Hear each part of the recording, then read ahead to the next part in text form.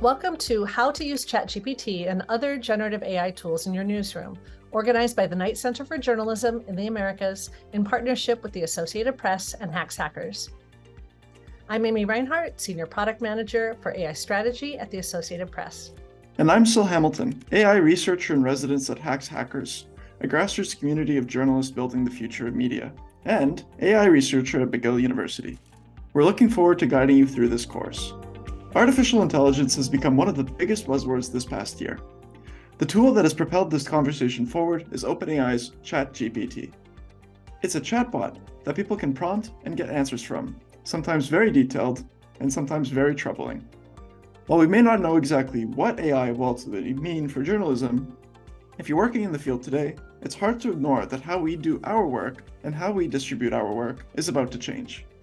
During this four week course, you will learn about how AI is helping newsrooms today, the history of AI, understanding AI's powers and limits, ethical considerations when using tools with AI, and what the future may hold for journalism and AI. The course will take place over four weeks. It will first introduce generative AI before going through specific products and ethical concerns. The first module will discuss the technology and why many journalists are skeptical and even afraid to use it in their newsroom. The second module will give an overview of the theory and technologies powering modern AI technologies. The third week will survey products presently available in the market today.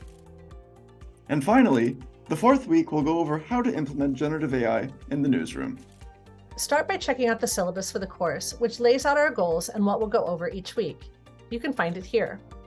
Then be sure to look at the introduc- introductory reading materials, which set out to provide a background on AI in journalism and current examples of AI in the newsroom. Then make sure to introduce yourself to fellow classmates in the student lounge.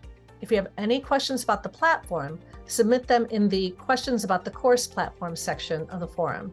And if you have any questions for Sil or me, please put a post in the instructors forum. We'll see you online soon in Module 1. Thank you. Thank you. See you soon. Thank you.